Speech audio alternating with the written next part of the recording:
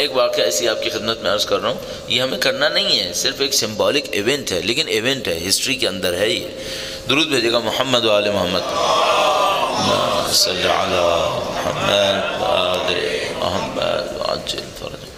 मुल्ला हादी सब्जवारी नाम करके, मुल्ला हमारे यहाँ अच्छा लफ्ज़ नहीं है पाकिस्तान में। मुल्ला हमारे यहाँ बहुत बुरा लफ्ज़ है। अच्छा मुल्ला का मतलब होता क्या है? अरबी में मला लफ्ज़ इस्तेमाल होता है भरे हुए के लिए। दरबारी को भी कहते हैं मला चूँकि वो भी जगह को भर लेता है ना। हॉल खाली होता है, उसको भर लेता है तो उसको दरबारी कहते हैं दरबारी को भी मला कहते हैं। लेकिन मिल, मला, मीम, लाम, हमज़ा ऐन नहीं है यहाँ पे, हमज़ा है।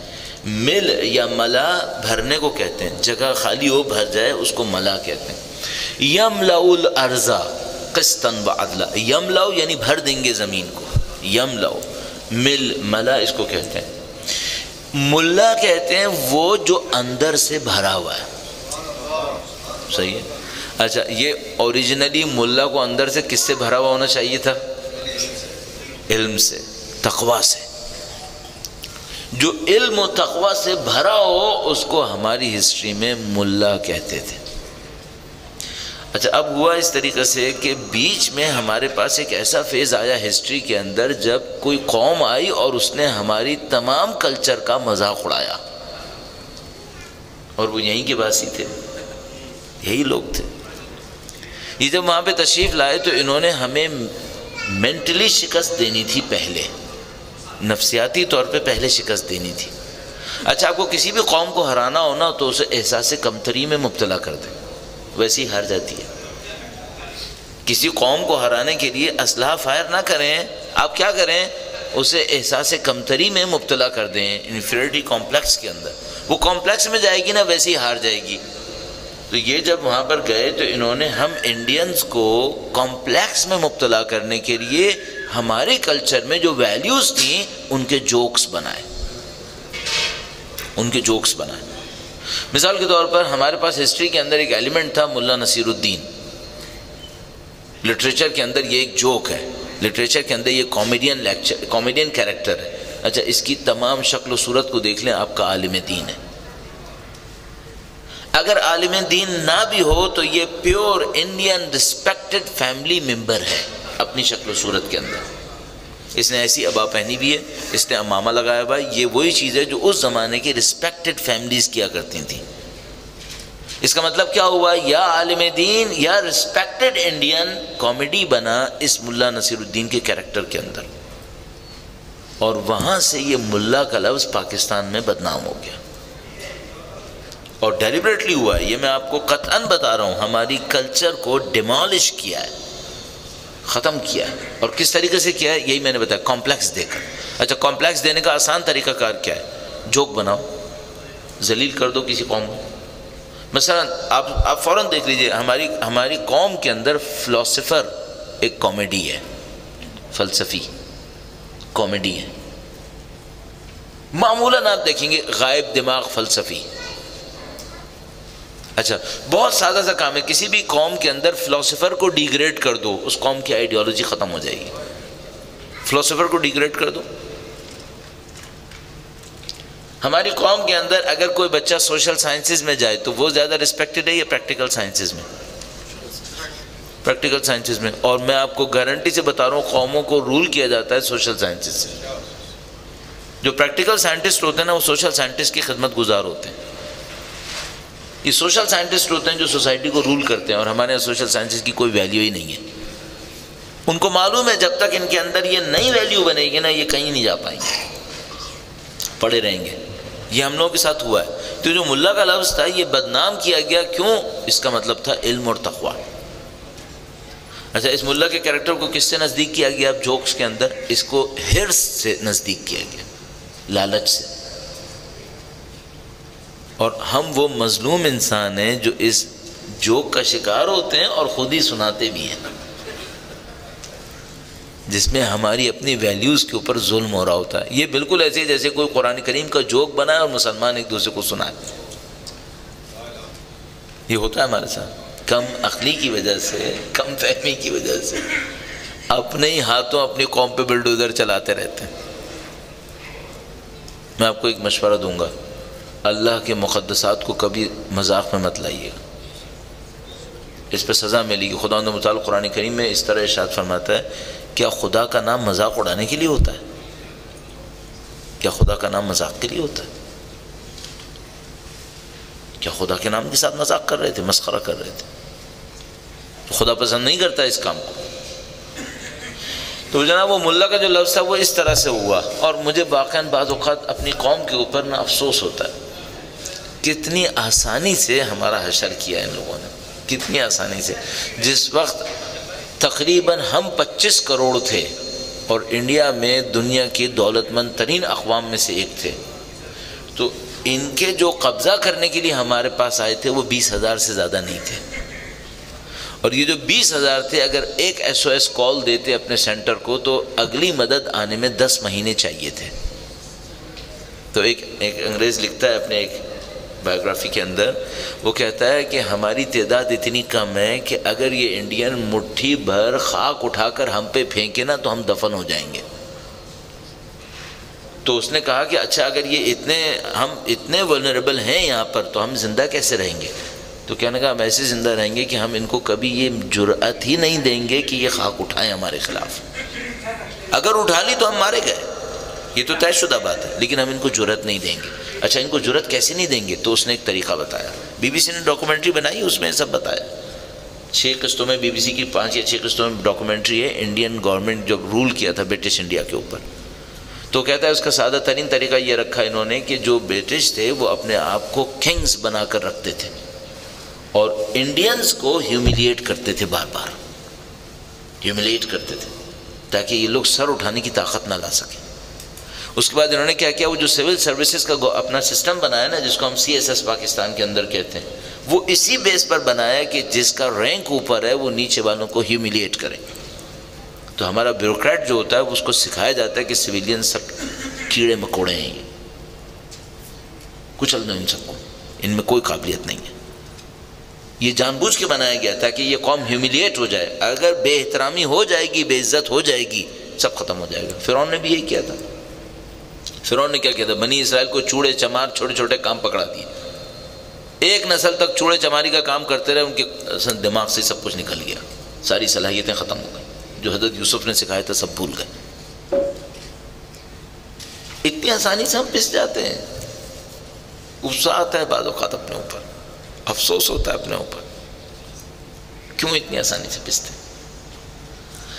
तो बहरहाल वो जनाब मुल्ला हादी सब्जवारी जनाब, बहुत बड़े फ़िलासफ़र थे।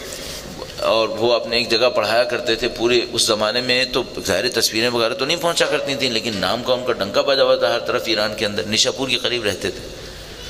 सब्ज़बार, जो आपको पता ही तो वो जनाब, उनके नाम की शहरत थी, ये था, वो था, वो मानवी तौर पर बहुत मज़बूत इंसान थे। बहुत मज़बूत इंसान थे। एक ज़माने में अचानक उनके जहन में ये एहसास आया कि ये शहरत जो है ना, ये मेरे लिए बुद्ध बन गई है। ये मेरी शोहरत मेरे लिए बुद्ध बन गई है, मुझे शोहरत बहुत अच्छी लगने लगी है। बस जिस दिन ये एहसास आया ना, अगले दिन उन्होंने अपना मदरसा छोड़ा, गायब हो गए। गायब हो गए। अब जो मदरसे में लोग उठे, उन्होंने कहा, भाई, मुल्ला हदीस अफजारी, उस्ताद मौसम कहाँ है? लिखा गायब अब उन्होंने अतराफ़ में पूछवाया कि, भाई, कहीं और गए? पता चला, असल इस नाम का बंदा रुए ज़मीन से गायब हो गया।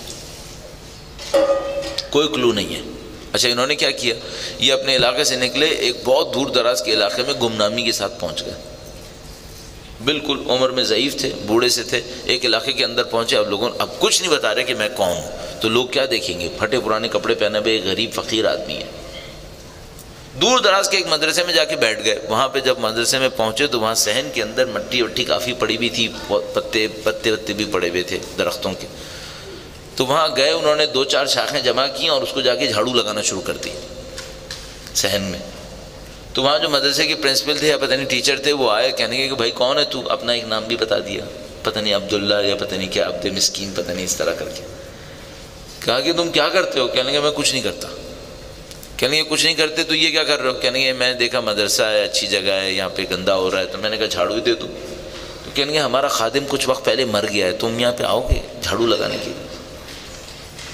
कहने हाँ आऊँगा। कहने हम तुम्हें जगह भी देंगे और जो तालब इम खाते ना, ये तुम्हें भी दे देंगे। सही है? कहने हाँ मेरे लिए सही है।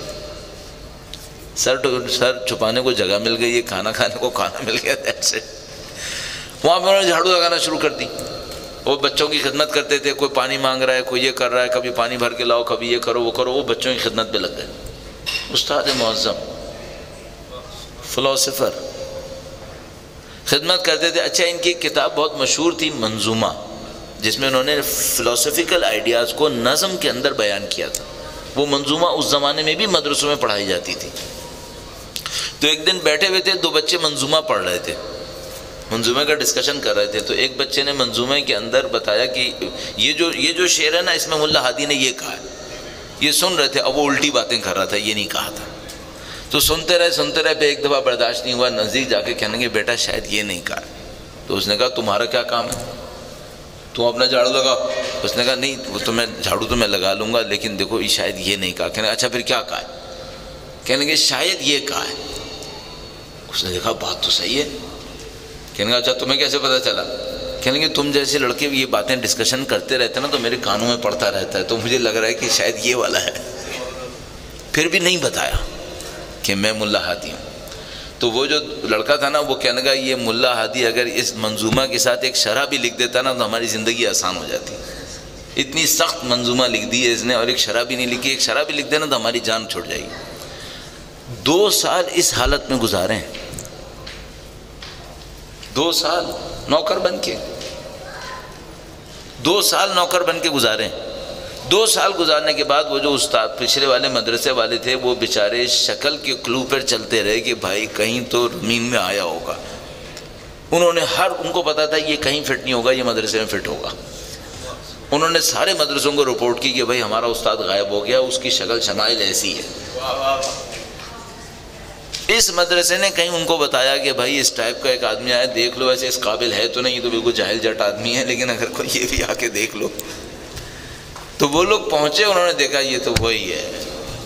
पकड़ लिया उनको कहा, आप क्यों गायब हो गए थे? बड़ा समझाया बुझाया कहने उस्ताद, जो भी प्रैक्टिस थी ना, अब हो गई। आपने जो अचीव करना था ना, कर लिया। दो साल बहुत होता है। आपने नफ्स को मार लिया। अब आप हाथ से वापस आ जाए, अल्लाह का वास्ता। अच्छा पोल भी खुल गई थी। सारा शहर उमंड आया कि भाई, ये तो वही थे और ये था, वो था। अब वो बच्चे भी बेचारे बड़े परेशान हुए, वो दोनों आए सामने। वो सामने आए, उनको गले लगाया, कहा उन्होंने बहुत कहा कि हमें माफ़ कर दें। सारे बच्चों ने कहा कि, भाई, हमने ये गलत कर दिया, वो गलत कर दिया। उन्होंने सबने माफ़ी वाफ़ी मांगी। तो जाते जाते उस लड़के से कह लेंगे, बेटा, मैं शरा लिख के जाऊँगा। तो फिर बाद में शरा लिख कर उस लड़के को भिजवाई। उसकी शरा लिखी, उस लड़के को भिजवाई। ये लोग इतने हम्बल थे। इन्होंने क्या किया हुआ था? इन्होंने अपनी अटैचमेंट्स को ख़त्म कर लिया था। हम, हमसे अपनी अटैचमेंट्स ख़त्म नहीं होती हैं। ये लोग जैसे कहीं देखते थे ना कि ये अटैचमेंट हक के मुकाबले में आ रही है। दूर फेंकने में देर नहीं लगाते थे। हमसे नहीं होता। सबसे बड़ी तैयारी जो अभी तक मुझे समझ में आ रहा है, और भी तैयारियाँ यकीनन होंगी। इमाम को नुसरत के लिए ताकतवर लोग भी चाहिए होंगे ऑर्गेनाइजेशन भी चाहिए होगी, उनके अंदर एक इज्तम चाहिए होगा, ये सारी बातें चाहिए होंगी। लेकिन जो पहली चीज़ इस वक्त मुझे समझ में आती है, वो ये कि ये अटैचमेंट जो है ना, ये सबसे गंदा है। ये सबसे बड़ी रुकावट है। क्यों? इस अटैचमेंट की वजह से शायद मैं यूके छोड़ के इमाम के पास नहीं जाऊँगा। मुझे आदत यहाँ की है यार। मुझे इनसिक्योर माहौल में रहने की आदत ही नहीं है। तो मैं उनके साथ जाकर रहूँगा जो रहेंगे ही इनसिक्योर माहौल के अंदर। अभी लोग मुझसे क्या कहते रहते हैं? हम पाकिस्तान तो आना चाहते हैं, लेकिन वहाँ के हालात बहुत ख़राब हैं। बात बिल्कुल सही है। मैं कोई मुकाबला मुकाबला नहीं कर रहा हूँ। मेरी बात को गलत मत समझिएगा। मैं आपसे नहीं कह रहा हूँ कि आप गलत कर रहे हैं। नहीं, आप सही कर रहे हैं। लेकिन सिर्फ़ मैं ये कह रहा हूँ कि अगर यही हालात की ख़राबी खुदा ना करे, इतनी बड़ी मुसीबत है तो जो इमाम के साथ चल रहे होंगे ना, वो ख़राब हालात में ही चल रहे होंगे। आपको और मुझे इसको एक्सक्यूज़ नहीं बनाना है अपनी आप आप सही कर रहे हैं। मैं नहीं कह रहा आप उठ के आ जाए पाकिस्तान। आ भी गए तो कुछ नहीं होगा, आप मेरे पास आकर कहेंगे, हम तुम्हारे कहने पर आ गए। अरे भाई, मेरा खुद अपना का नहीं पता कि मैं कहाँ जाऊँगा, तुम्हें कहाँ लेके जाऊँगा मैं। लेकिन मैं ये कह रहा हूँ, अपने आप को जहनी तौर पर इतना तैयार कर लें, कम अज़ कम कि कुछ ना कुछ चैलेंजेस लेने की आदत पड़े। वो एक बंदे खुदा था बहुत अच्छा लड़का है, बहुत अच्छा जवान, दुबई में था। बहुत अच्छा लड़का है, मैं बार बार तारीफ़ करूँगा। वो एक दफ़ा हम कोई सेमिनार कर रहे थे कराची में। पीक समर का बिल्कुल पीक और कराची का जो समर है ना, वो बहुत चिपचिपाता है। पसीने बहुत निकलते हैं अजीब व गरीब हालत होती है। ह्यूमिडिटी इतनी हाई होती है वहाँ पर 80 परसेंट पर पहुँची भी होती है 80 85 पे। और उसमें जनाब एक अजीब आलम में इंसान आ जाता है बाज़ अवत तो वो बेचारा कहीं आया, वो कहीं और अच्छा दोपहर में ही सेमिनार रख दिया। वो भी भोजानी हॉल में जहाँ वेंटिलेशन का कोई बंदोबस्त ही नहीं है। उसके ऊपर शायद कहीं लाइट भी चली गई। और वो बेचारा दुबई का वहाँ पे बैठा हुआ था। वो पता नहीं कितने शौक से दुबई में हमारी स्पीचेस सुनता रहता था, ये था, वो था। वो पता नहीं कितने शौक से हमारा सेमिनार देखने के लिए आया। सेमिनार भी दो सेशन में था पहला सेशन डेढ़ घंटे का, फिर दूसरा डेढ़ घंटे का। वो पहले सेशन के बाद मेरे पास आया। मैंने उससे पूछा हाँ भाई, कैसे हुआ? कहने का मौलाना, मुझे अपने ऊपर गुस्सा आ रहा है, काश मैं दुबई का ना होता। कहने लगा, सारे डेढ़ घंटे ना, मुझे सिर्फ़ गर्मी लगती रही मेरा दिमाग सिवाय गर्मी के कुछ नहीं सोच पाया। इसकी कोई गलती नहीं है। लेकिन मैं सिर्फ़ ये कह रहा हूँ, इसका मतलब एक वीकनेस बन गई ना। अरे मुझे इमाम के साथ चलना हो और ऐसी जगह पे चलना हो जहाँ पे ना एसी है, ना कुछ है 45 डिग्री है, बेटा इसी में बैठना है। कितना बर्दाश्त करूँगा? मेरी प्रोडक्टिविटी का क्या होगा? अब यही कहते हैं ना कि सेंट्रल लगाओ ताकि प्रोडक्टिविटी ज़रा अच्छी रहे वर्कर्स की। तो इमाम के साथ अगर नहीं मिले सेंट्रल फिर क्या होगा? कुछ है मेरे जहन में कि इसकी तैयारी कैसे होनी है? मैं अपने आप से कह रहा हूँ, यकीन मैंने आपसे भी कह रहा हूँ अपने आप से कह रहा हूँ। हम सबको इसके लिए तैयार रहना ही नहीं रहना? अच्छा अब मैं एक आखिरी बात जो अभी तकरीबन आखिरी मिनट्स की तरफ़ हम जा रहे हैं, एक बात और आपसे अर्ज़ करूँगा। शैतान आपसे कहेगा, अभी नहीं आ रहे, अभी नहीं आ रहे। आप अपने जहन को ऐसे मत सोचवाइएगा कि नहीं आ रहे, नहीं आ रहे। ये गलत है, ये हमारे दीन के खिलाफ है। आप अपने जहन से बिल्कुल ये सोचिएगा कि अगले साल नहीं, अभी अभी आ रहे अब क्या होने वाला है? मेरी तैयारी कहाँ पहुँची हुई है? मैं प्रैक्टिकली इस बात के लिए तैयार हूँ। प्रैक्टिकली इस बात के लिए तैयार हूँ। मिसाल के तौर पर, अभी जुलाई का महीना है, फ़र्ज़ करें अगस्त में इमाम की कॉल आ गई। इमाम की कॉल आती है कि इमाम आ गए और वो कह रहे हैं कि जितने मेरे मानने वाले हैं, तशरीफ़ ले आए। अगले महीने मैंने सब कुछ छोड़ के जाना है, मैं ही कर सकता हूँ। अच्छा जब मैं जाऊँगा तो किस एनवायरनमेंट के अंदर जाऊँगा? एक ऐसे एनवायरनमेंट के अंदर वहाँ डेजर्ट होगा, वहाँ समर होगा, वहाँ 45 डिग्री हो रहा होगा, वहाँ पे कोई सेंट्रल नहीं होगा, वहाँ पे कोई बेड नहीं होगा, वो सब का सब एक, मिसाल के तौर पर एक हॉल के अंदर मसा मैंने कुछ कैंप्स किए हैं। आप सबने भी अपनी ज़िंदगी में कैंप्स किए हैं। कैंप की लाइफ कैसी होती है? एक वो कैंप्स होते हैं ना जो जानबूझ के किए जाते हैं। तो उसमें फिर थोड़ा हाथ हल्का रखा जाता है कि यार बच्चों का ऐसा ना हो, बिल्कुल ही मामला ख़राब हो जाए। एक वो कैंप्स में रहना पड़ता है जो मुसीबत के वक्त पे बनते हैं। ये मामूलन जंगों में होता है। अभी जो गज़ा में हो रहा है तो आपके सामने ही है ना। एक लाख आदमी डिस्प्लेस हुए में कहाँ गाएँगे अभी पाकिस्तान में तकरीबन एक मिलियन लोग डिस्प्लेस हुए हुए हैं। कहाँ रह रहे हैं ये लोग? कैंप्स में रह रहे हैं ना। कैंप की ज़िंदगी किसे कहते हैं? जाके कभी खुदा ना करे नाउज़बिल्ला ना मौका आए आपके ऊपर। लेकिन कभी ज़रा देखिएगा कैंप किसे कहते हैं। अभी मुझे अच्छा नहीं लग रहा है ये कहते हुए, लेकिन कभी सोचें कि मैं कराची में, पाकिस्तान में एक मिलियन लोग डिस्प्लेस हुए में इनको टॉयलेट मिलेंगे क्या? पानी मिल रहा होगा। कुछ नहीं मिलता है। मैं बता रहा हूँ कुछ नहीं मिलता है। मैं कैंप्स में रहा हूँ। डेढ़ लीटर पानी मिलता था चौबीस घंटे के लिए। डेढ़ लीटर। इंसान के बदन को गर्मी में आठ गिलास पानी चाहिए कम अज़ कम। वो आठ गिलास पानी दो लीटर होता है। डेढ़ लीटर पानी मिलता था चौबीस घंटे के लिए कि भाई, तुमने इस पर ज़िंदा रहना है, चाहो तो टॉयलेट में ज़ाया कर दो, चाहो तो पीने में लगा दो। जो तुमने करना है करो। मर्ज़ी तुम्हारी। बिस्तर मिलेगा? बिस्तर कहाँ की कहानी है? मसलन मैं एक अजीब व गरीब चीज़ें होती हैं, छोटी छोटी बातें पुरानी मानेगा ऐसी मैं अर्ज़ कर रहा हूँ। मसलन हम सबको तकिया रखने की आदत है। तकिया मिलता है वहाँ पे? कुछ नहीं है। जिसको जहाँ जगह मिलेगी ना सो जाए बस। जैसे भी पढ़ के सो जाए। ऊपर, नीचे, दाएँ बाएँ ज़मीन, हमवार, कोई कुछ पता होता क्या जगह है?